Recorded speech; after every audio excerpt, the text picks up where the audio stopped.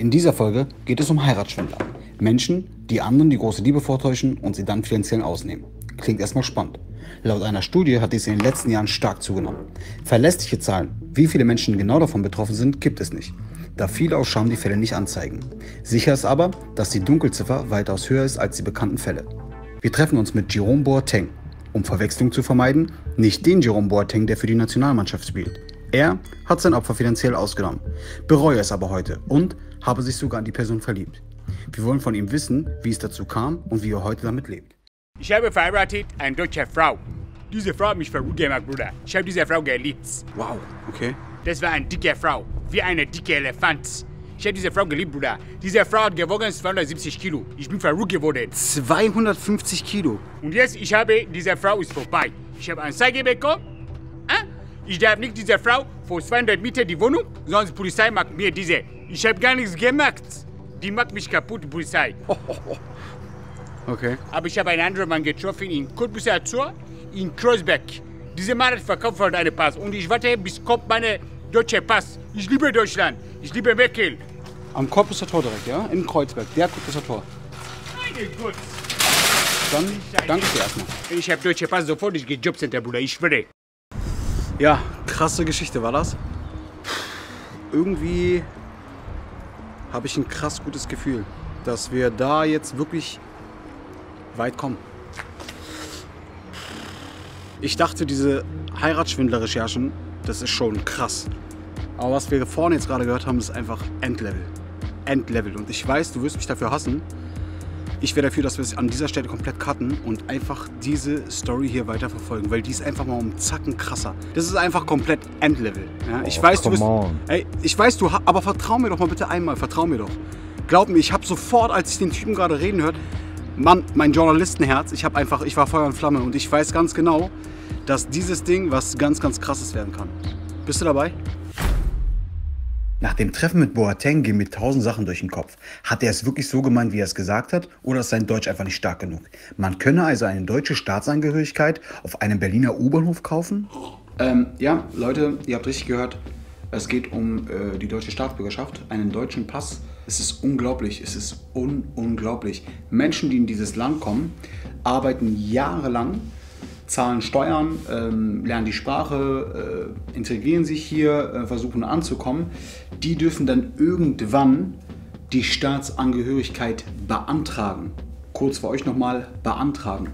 Ähm, und dieser Typ ähm, verkauft äh, diese Staatsangehörigkeiten ähm, an einem U-Bahnhof-Ausgang. Ich kontaktiere diesen mysteriösen Typen, der angeblich Pässe verkaufen soll. Und das Beste, er stellt mir sogar ein Treffen in Aussicht. Leute, wir fahren jetzt nach Kreuzberg. Ich bin super aufgeregt. Ähm, ich weiß nicht, was mich da erwartet. Er hat ähm, der Kamera nicht zugestimmt, hat uns auch gleich gesagt, er möchte nicht gefilmt werden, möchte auch keine Kamera sehen. Deswegen ähm, haben wir uns jetzt äh, Mikrofone und äh, eine versteckte Kamera mitgenommen. Ähm, wir haben das Ganze natürlich mit der Redaktion nochmal besprochen. Von der Redaktion wurde uns das auf jeden Fall abgeraten. Lars, was meinst du, was sagst du? Ja, lass machen. Komm, wir machen das jetzt. Für alle Nicht-Berliner, das ist der Cottbusser Tor. Der Cottbusser Tor ist Berlins Drogen- und Kriminalitätshotspot Nummer 1. Und hier soll es jemanden geben, der mir einen deutschen Pass verkaufen will. Okay Leute, wir sind jetzt hier am Cottbusser Tor. Ähm, Kamera läuft, wir sind alle verkabelt und ich würde sagen, lass uns das einfach durchziehen.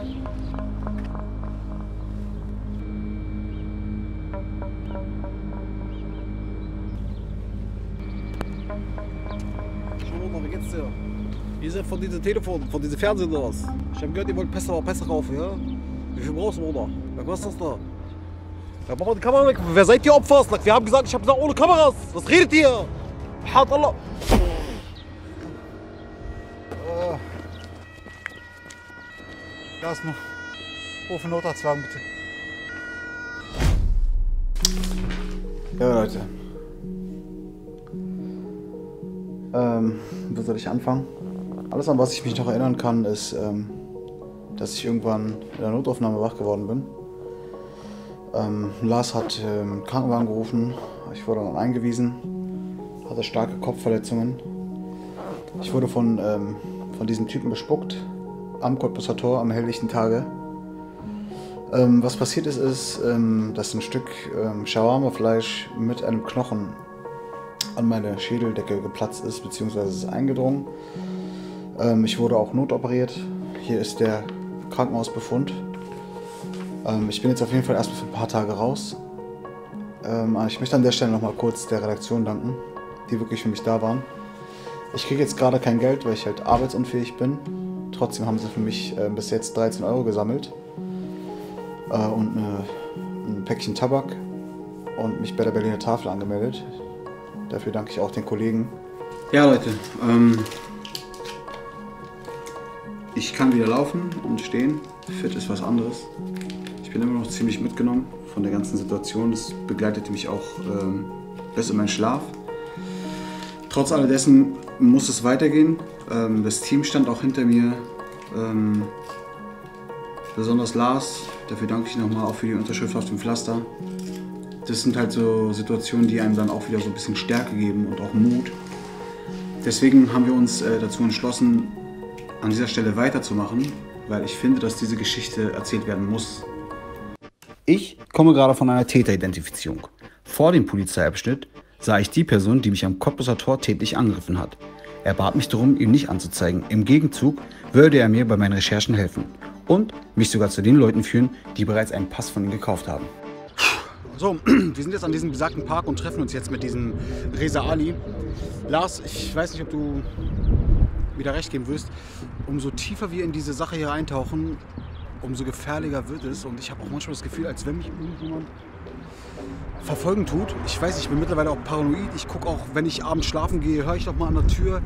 Irgendwie habe ich so ein ungutes Gefühl, aber wir müssen das jetzt zu Ende bringen. Wir treffen uns jetzt mit ihm und gucken, was er uns zu sagen hat. Unser erster Kontakt ist Reza Ali, 63, Taxifahrer, ursprünglich aus dem Iran. Er ist Analphabet, hat in Deutschland nie einen Sprachkurs besucht. Den deutschen Pass brauche er, um seine 18-jährige Frau vom Iran nach Deutschland zu bringen. Ja, hi erstmal. Und zwar, ähm, du bist ja diese Person, die unter anderem auch diese Staatsbürgerschaft von diesem Hamoudi ähm, ähm, aus Kreuzberg bzw. im Cottbusser Tor gekauft hat. Ich habe deutscher Pass bekommen in Kreuzberg von Hamoudi. Mhm, okay. Das ist deutscher Pass, Ich bin deine Landsmann. Okay, und das ist jetzt die Staatsbürgerschaft. Also das quasi, was dir als äh, Personalausweis verkauft wurde. Ah, ich habe Auftrag bekommen, Auftrag bekommen, Sie sind Taxifahrer, ich bin Taxifahrer. Ich muss dort, ich muss Taxifahrer, Khobare. Ja, nee, ich will dich auch gar nicht weiter abhalten jetzt von der Arbeit. Dann danke ich dir auf jeden Fall, dass du ähm,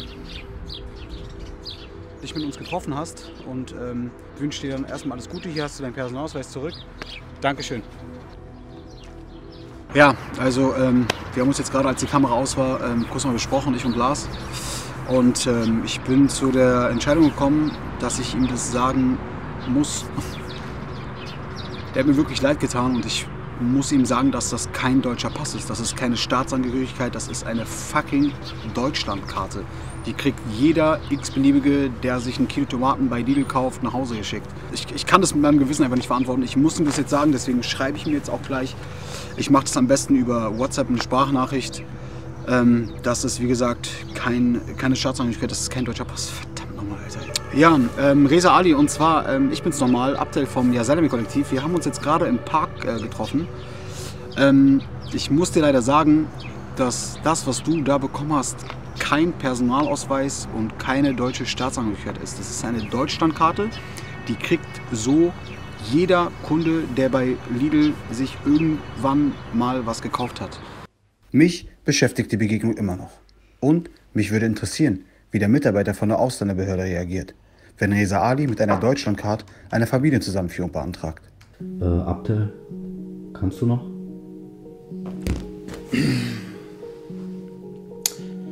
Es hat nichts mit äh, kann ich noch oder kann ich nicht zu tun. Ich merke einfach, ähm, dass ich genau so eine Situation wie gerade irgendwie zu krass an mich ranlasse. Ich nehme es einfach mit so nach Hause. Mann, weil das ist, das ist halt, ich meine, im Endeffekt sind wir alles nur Menschen. Du bist ja auch nur ein Mensch. So, und wenn du halt so eine Dinger siehst, die nehmen dich halt krass mit so. wenn du so einen 63-jährigen Senioren siehst, so, der sein Leben lang gespart hat irgendwie, ähm, und dem wird dann anstatt ein Personalausweis eine Deutschlandkarte verkauft, die einfach nichts kostet, so, die kriegt jeder nach Hause geschickt. Und das sind so Sachen, die nehme ich halt mit. Das beschäftigt mich. Jo, liebe Leute, ich habe jetzt gerade mit einem Kollegen aus der Redaktion telefoniert. Der hat mir Mut zugesprochen. Ähm, die Hoffnung stirbt zuletzt. Wir werfen an der Stelle das Handtuch noch nicht. Wir haben noch einen letzten Kontakt. Und zwar fahren wir jetzt zu Khalil. Auf geht's. Wir geben dem Ganzen noch eine letzte Chance und treffen uns mit Khalil. Er ist 29 und gehört einer arabischstämmigen Großfamilie an, die wegen Kaugummiautomatenüberfälle bereits in den Medien war. Bevor er den Pass gekauft hat, war er mit einer Deutschen verheiratet, trennte sich dann aber.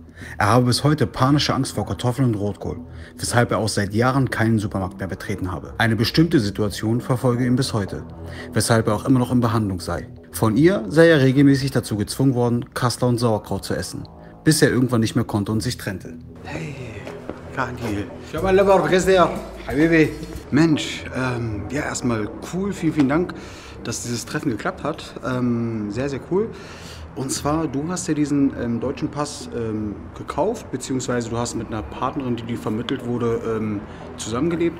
Die deutsche Staatsangehörigkeit hast du bekommen. Erstmal alles Gute, herzlichen Glückwunsch. Und äh, ja, jetzt wollte ich einfach mal von dir hören, deine Erlebnisse, wie das so alles ablief.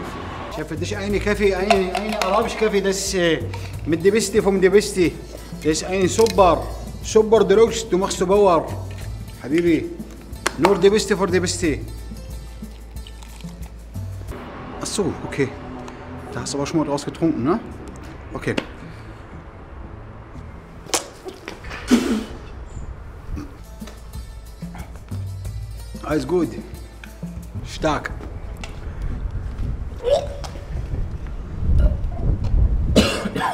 Geil.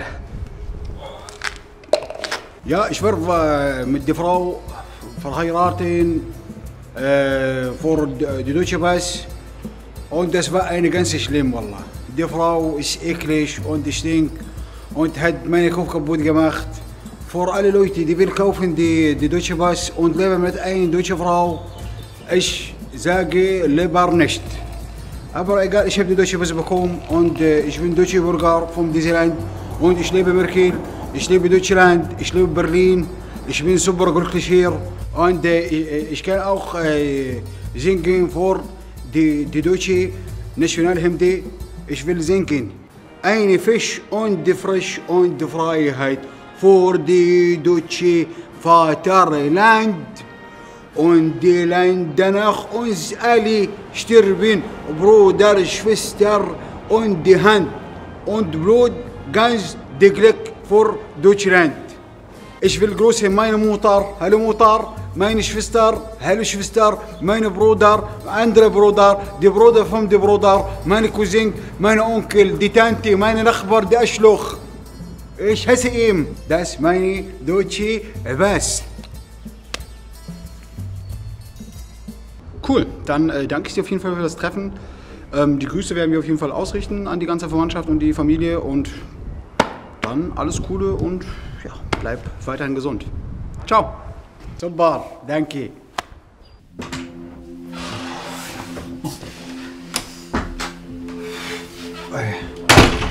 Unglaublich geil trotzdem. Ich habe ähm, so krasse Magenkrämpfe. Mir geht's so schlecht, mir ist so kotterig. Trotz alledessen ähm, war das heute ein voller Erfolg. Ein voller Erfolg im wahrsten Sinne des Wortes. Wir haben uns mit Khalid getroffen. Wir haben informationsmäßig alles bekommen. Es ist wahr. Es war eine Geschichte. Jetzt ist es Realität. Diese ähm, gefakten Ehen und Pässe gibt es tatsächlich. Das haben wir heute gehört. Und äh, das ist auf jeden Fall mehr als krass. Ich weiß nicht, was in diesem Getränk drin war. Ich habe, ähm, also wann sind wir zurückgekommen, Lars? Vor einer Stunde? Ich bin jetzt safe seit einer Stunde auf Toilette. Jedes Mal, wenn ich rausrenne, muss ich wieder reinrennen. Ich weiß nicht, was drin wird. Ich glaube, ich fahre auch ähm, später nochmal zum Arzt, um wirklich mal abzuchecken, ob da alles cool ist. Das war's mit unserer ähm, äh, Doku äh, zum Thema Shine-In. Es hat alles eine komplett andere Wendung genommen. Wir haben angefangen mit, ähm, mit, mit, mit irgendwie mit Shine-In und waren dann bei gefakten Ehen, mit Absichten äh, zu einer deutschen Staatsbürgerschaft. Also ich habe schon viele Drehs gehabt. Ich habe schon, hab schon in verschiedenen Sachen recherchiert. Ähm, ich war aber noch nie aufgrund einer Recherche oder einer Dokumentation auf einer Notaufnahme. Das ist mein erstes und ich hoffe auch letztes Mal. An euch, ich hoffe, die Doku hat euch gefallen. Ähm, kommentiert mal unten rein. Kennt ihr jemanden, der in einer Scheinehe lebt? Lebt ihr vielleicht selber in einer Scheinehe? Ähm, kennt ihr jemanden, der auf einmal aus mysteriösen Gründen ähm, einen deutschen Pass in der Tasche hatte? Schreibt mal unten rein. Das war's von mir, von mir, Selame Kollektiv. Bis zum nächsten Mal. Ciao.